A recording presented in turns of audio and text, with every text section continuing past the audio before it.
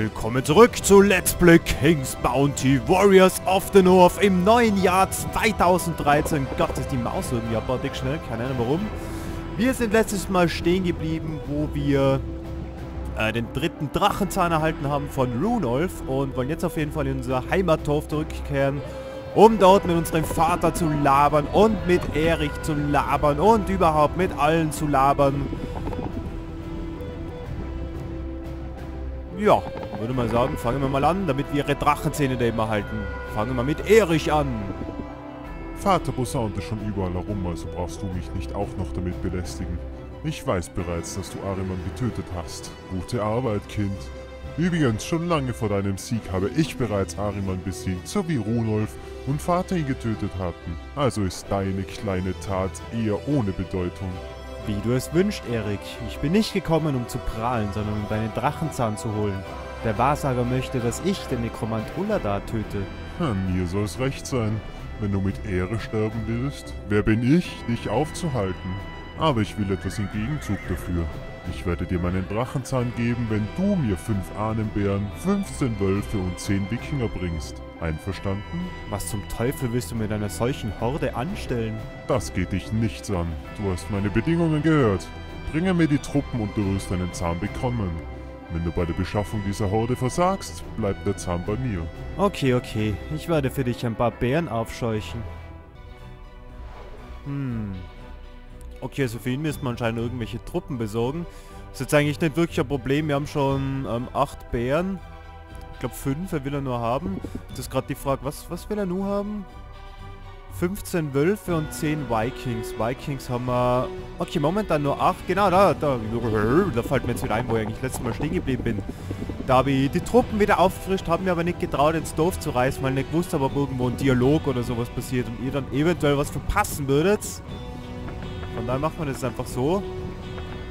Füllen wir da einfach alles auf. Und ja, zu unserem Vater müssen wir sowieso auch noch wir haben leider nichts gefunden. Wir waren aber auch noch nicht wirklich bei dem Schiffsbruch oder bei der Stelle, wo er da mit dem Schiff irgendwo gekentert ist.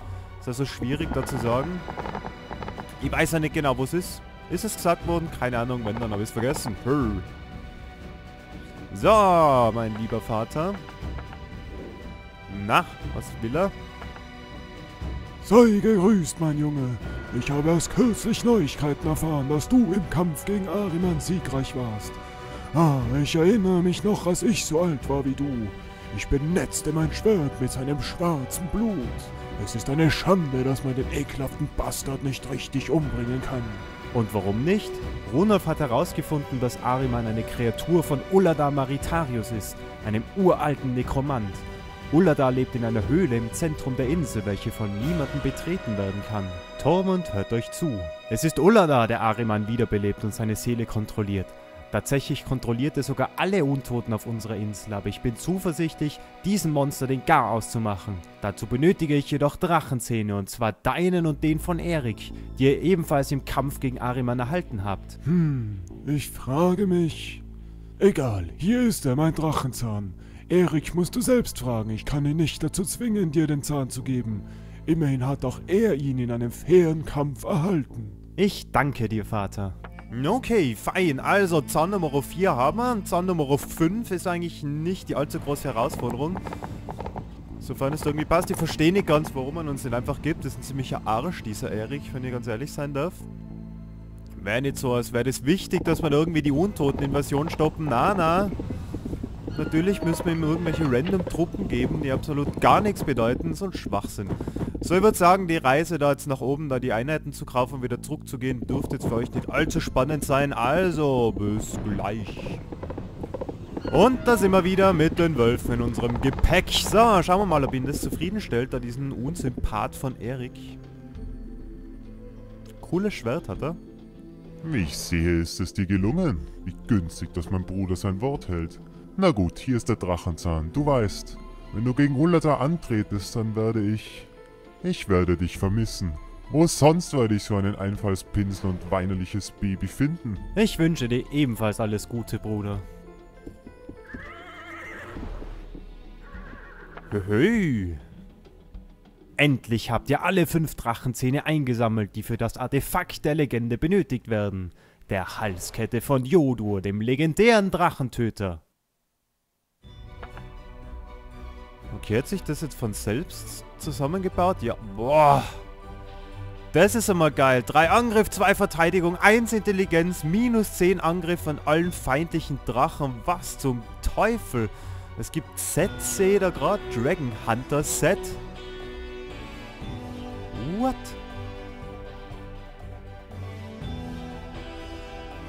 Krass, also das hat es bei King's Bounty der Legend auf jeden Fall nicht gegeben, so Set-Gegenstände. Das würde ich mal sagen, ist ziemlich geil. So, jetzt haben wir plus 1 Intelligenz, aber die Intelligenz bleibt trotzdem auf 0. Warum? Da gibt für mich gerade überhaupt keinen Sinn. Man startet, glaube ich, nämlich mit 1. Dann haben wir jetzt da 1 minus, dann sind wir auf 0. Dann sind wir da eigentlich auf plus 1 wieder. Warum sind wir weiterhin auf 0? Leuchtet mir jetzt nicht ganz ein. So, der dämliche Saftsack hat uns jetzt natürlich unsere Truppen abgezogen. Die Sau. Das heißt, wir werden jetzt die einfach ganz schnell irgendwie nachkaufen. Und auch da würde ich sagen, das, das nehme ich jetzt nicht wirklich mit auf. Wir sehen uns dann bei dieser Höhle, also ungefähr nachher da wieder. Bis gleich. Okay, also mit vollen Truppen werden wir uns jetzt dann in die Höhle stürzen des Necromancers und damit unsere erste gute Tat im Jahr 2013 beginnen. Yay! Okay, also, hauen wir uns mal runter. Da waren wir glaube ich noch nie drin. Nö, da waren wir noch nicht drin. Als er durch die niederen Gewölbe der Höhle hinuntersteigt, spürt er einen immer stärker werdenden Widerstand. Mit jedem Schritt wird das Voranschreiten schwieriger und schwieriger, aber ihr spürt ein warmes Licht, das aus der Halskette der Drachenzähne scheint. Plötzlich lässt die Macht, die euer Weiterkommen einschränkt, nach. Ihr hört eine sehr leise Stimme. Kommt, Meister. Der Weg für euch ist offen. Hm, werden wir da vielleicht sogar schon erwartet?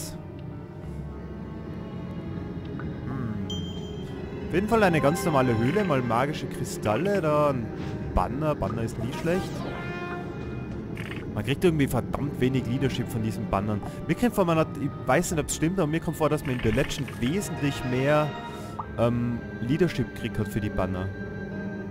Okay, da gibt es mal gar nichts. Gold, ja, haben wir mittlerweile eigentlich echt unendlich viel. Und es gibt ziemlich viele Truppen. Brrr würde mal sagen, die ganzen Einheiten, da kennen wir aber eigentlich schon und diese schwachen Kämpfe brauche ich euch nicht wirklich zeigen.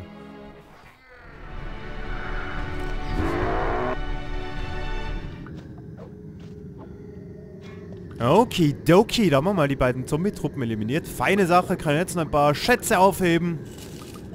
Die da mal dumm liegen. Und man hat es, glaube ich, schon ganz knapp in der Kamera gesehen den großen, großen Bösewicht, den Necromancer Ullada Maritarius, der als ziemlich schwach eingestuft wird. Der ist Level 10, was zum Teufel. Und ein ziemlich krasser Magier, also Intelligenz 10. 100 Mana, der wird uns ganz schön einheizen. Hm, Spinnennester. Ist die Frage. Ich meine, zur Sicherheit, die speichern natürlich immer ab. 6 Leadership, seriously. Ähm, könnten wir, wir könnten mittlerweile einen Berserker mehr in den Kampf mitnehmen und einen Wikinger mehr. Also falls irgendwie scheitern sollte an diesem Kampf, wissen wir mal, wir könnten unsere Truppen noch aufstocken. Okay. Dann schauen wir noch da kurz in die Seite. Holen uns da das ganze Gold ab und eine Magic Rune, okay. Spinnen gäbe es ja verdammt viel. Hm, gute Frage, wie weit also da muss er nur sieben Kämpfe gewinnen, da Nummer drei, wenn wir den Necromancer besiegen, also Nummer zwei, da kriegen wir sobald wieder die nächsten Achievements. Und mit sechs Magierunen. Puh, puh, puh, was wird man da machen? Auf Glory wollte man auf jeden Fall gehen und dazu fehlen uns die Spirit Runes. Okay. Egal, also Ullada, bring it on. Undead Bitch. ich spüre den Geist der Lebenden. Wer wagt es, meine Privatsphäre zu stören? Ich bin Olaf, Sohn von König Tormund the Fierce. Haha, ein Wikiner. Wieso bist du hierher gekommen, Wikiner? Hat dir dein Wahrsager den Weg gezeigt? Ha, es ist völlig egal. Du wirst diesen Ort nicht lebend verlassen, Olaf, Sohn von Tormund. Aber sei versichert, du wirst diesen Ort verlassen. Und zwar tot. Du wirst Teil meiner unsterblichen Armee. Du meinst deiner verrotteten Armee? Das wird nie passieren, Zauberer. Angriff! Und auf geht's! Oh Gott. Was zum Teufel, wie viele Truppen. Wie viel unendlich viele Truppen. Warum hat der als weak eingeschätzt? Hat der abartig viel Kack in seinem Sortiment. Uh, okay, würde mal sagen, Ranged-Einheiten gehen wir ziemlich auf den Nerv. Also da drüben will die Bogenschützen nochmal beenden. Im Nahkampf sind wir ziemlich unschlagbar und mit unseren Wikingern und Rage-Typen was weiß das alles. Das ist ziemlich genial. Der Viking-Schlag war ziemlich gacke. Hm. Messen wir uns schon gegen die Spinnen? Oder baut man da noch ein bisschen ab? Eigentlich bringt's eh nichts, oder? Wir müssen einfach voll rein, aber gehen wir da, wir gehen voll aufs Ganze. Angriff, was soll's? Auf geht's! Die, Bitches. Okay, da haben wir schon mal einen verloren. Den können wir eventuell wiederbeleben. Äh, oh Gott. Oh Gott, da muss ich ein bisschen, da muss ich ein bisschen Ordnung in den Kampf reinbringen. Da jetzt mal die Geist auf der Seite entfernen, die abartig viel ausheben. Und da hinten wieder die... Kann ich zufälligen Lokis Touch benutzen? Nein, natürlich nicht, weil alle Untote sind. Okay, dann schauen wir, dass wir hinten weiter die Bogenschützen reduzieren. Und okay, jetzt sind es nur sieben, also... Oh Gott, das sind auch nochmal welche. Das sind nur 17. What the hell. Dann haben wir einen Zauber dabei. Äh, nichts, was ich eigentlich irgendwie benutzen darf. Helplessness dafür benutzen, brauche ich jetzt aber momentan nicht. Das werde dann auf den zweiten Spinnenbatzen benutzen. Wäre vielleicht bei dem sogar schon klug gewesen. So, die sind irgendwie verlangsamt oder so. Jupp, die haben Slow oben. Deswegen können die sich so gut wie gar nicht bewegen. Dann gehen wir sie in, in Verteidigungsstellung. Und die Bären dürfen nicht verteidigen. Wenn die rennen, kommen die da hin? Jopp, die kommen da hin. Dann geben wir die noch die Defense Rune und... Fein.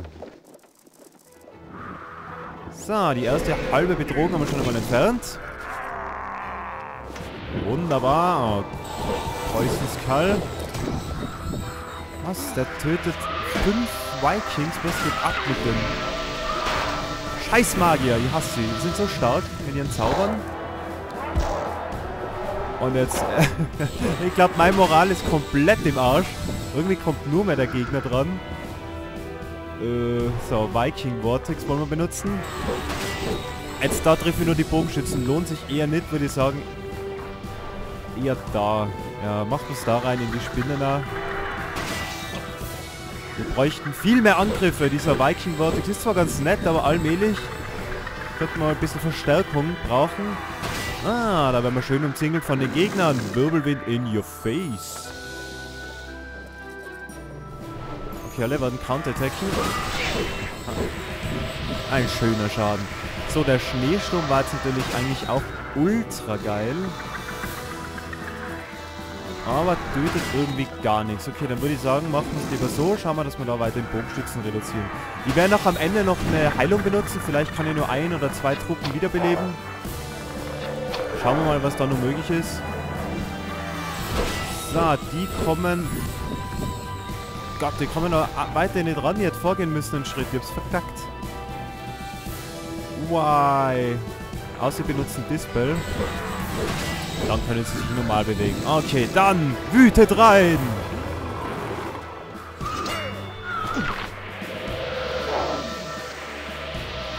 So, nehmen wir mal die Spinnen mit. Das sind eigentlich die größte Bedrohung irgendwie, oder? Da ist zu riskant, da töten wir eventuell keinen, da war der Angriff nutzlos, weil die dann wieder regenerieren. Hauen wir uns die Spinnen. Kümmern wir uns um die Spinnen. So, ein Geistertrupp schon einmal eliminiert. Jetzt hoffen wir mal, dass er nicht wieder irgendeinen Mörderzauber benutzt. Was war denn das schon wieder, was? Scream hat er da benutzt. Also den Schrei. Was ist denn das? Okay, da ist mal kein negativer Status drauf auf ihm. Doom, the bad luck results in constant critical damage of the troop. Okay, also die Truppe hat jetzt irgendwie Unglück, also ist verdammt. Das heißt, steht glaube ich meiner Meinung nach ein bisschen un ungünstig da. Ja, das heißt, immer wenn sie jetzt getroffen werden, dann kassieren sie kritischen Schaden. Also sie kriegen mördermäßig aufs Maul. Puh, ich glaube, das werden wir auch dispeln. Jetzt haben wir da noch einmal einen Schlag rein. Dadurch dürften jetzt da die Spinnen schon so gut wie weg sein. Das ist immer ganz gut. Und noch einmal ein Display, wir haben was dabei. Müssen wir doch benutzen. Nutzen uns ein wenig zu riskant. Lack. Und da tut man nichts. Da tut man einen. Da tut man sechs. Ja, für den will ich jetzt den Wurf nicht unbedingt verschwenden. Der ist schon fast tot, der Geist. Da ist mal so ein Anführungszeichen ziemlich egal. So, Healing-mäßig. Schauen wir, dass wir da die Truppen eventuell noch retten. Dass wir da bei 10 bleiben. Ach, das heilt schon gar nichts. Das hat jetzt einen Punkt geheilt. Was zum Teufel? Warum nicht mehr? Achso, na, einer ist wiederbelebt worden. Ah. Okay, also bleiben wir schön brav bei 10. So, was machen wir jetzt? Gute Frage. Verdammt, wir können wieder mal den Vampir da nicht töten. Wie viel Leben haben denn die? 154, was geht ab? So, die sind weg. Allmählich dezimieren sich seine Truppen und er benutzt noch einmal dieses Doom. Das Schwein. Jetzt muss ich doch schauen, dass ich irgendwie diesen Zweier-Vampir-Batzen auf jeden Fall nur eliminiere. Sonst werden die mal zu einer zu großen Bedrohung, weil sie vom Schaden her nachher nicht mehr wegkriegen wäre. Da wäre jetzt natürlich so ein Rundumschlag extrem geil, aber dazu muss ich vorher die Bären wegziehen. Und das ist aber sogar möglich, sehe ich gerade. Also die sind alle nicht mehr im Zug, das heißt die Bären schicke ich zur Seite, da den Vortex Strike rein oder Viking Vortex, irgendwie, keine Ahnung, irgendwie, wie es sich genannt hat. Viking Vortex, genau. Und dann prügle ich mit den Bären vielleicht nur da die Vampire weg. So, jetzt muss ich mich aber um die da kümmern. Habe ich gesagt, leider Gottes kein Berserker. Komm schon. Gott, die überleben echt zu viel. Ich krieg's hier nicht mehr down. Was geht ab? Oh Mann. So, probieren wir einen Shield Bash. Und hättet bitte, bitte einen down kriegen. Jawohl. Okay, ein Vampir mal weg. Sehr fein. Ey, krass. So, den will jetzt da ganz auf die Seite schicken. Aber seine Runde ist noch nicht vorbei. Nein, nein, die Ancient Bears werden nur abgehen. Und zwar... Kann jetzt irgendwas töten? Scheiß kann sie töten. Okay, attackiert es trotzdem. Regeneriert er voll oder nur ein Teil von seinem Leben? Was für ein Kampf. Was für ein Kampf. Unsere Soothsayer natürlich noch im Rücken. So. Noch einmal einen Vortex. Und dadurch... Die haben sich komplett gehalten. Wirklich heftig. Das heißt, ich will jetzt die auf jeden Fall töten. Geht sich's aus? Bitte. Jawohl. Haha. So, jetzt alles noch auf den zweiten Vampir. Wenn die Vampire weg sind, würde ich sagen, na... Dann sind wir, glaube ich, halbwegs auf der sicheren Seite. Hauen wir denen jetzt mal Helplessness rein. Dass sie dann wenig reduzierten Armor haben. Schon schaut es wieder knapp aus für die Runde. Wo ist der jetzt hingegangen? Was hat der schon wieder drauf? Der hat Furcht oben. Das heißt, der macht irgendwas. Oh Gott. Das geht sich nicht aus. Okay, die Bären können jetzt eventuell beenden den Job. Dann bleiben eigentlich fein. Okay, jetzt bleiben eigentlich nur mal die Bogenschützen übrig. Da verheck ich wieder vier. Also wir verlieren nahezu alles. Erik wird erstaunt sein. Wir werden nämlich gewinnen. Ha!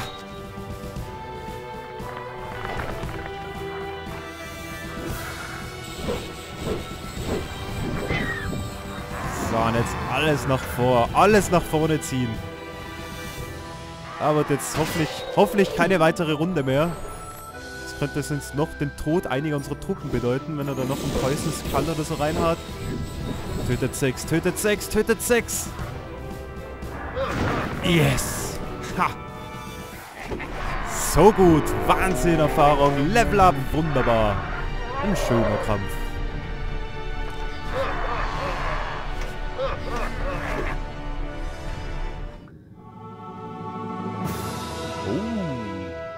90 Leadership und verdammt viele Runen. Maritarius verkörperte das unsagbare Böse und hatte das Verlangen, euer Volk zu zerstören. Euer Sieg über den finsteren Nekromant sichert euch für immer einen Platz in den Liedern von Skalden. Geht nun zu eurem Vater, er wird sicherlich ein großes Fest feiern und euch als seinen Nachfolger bestimmen. Okidoki, haben wir da eventuell die untote Belagerung jetzt irgendwie beendet? Und was genau ist in dieser Schatztruhe drinnen? Hm. All das werden wir im nächsten Part von Let's Play King's Bounty Warriors of the North erfahren. Vielen Dank fürs Zusehen und bis zum nächsten Mal. Ciao.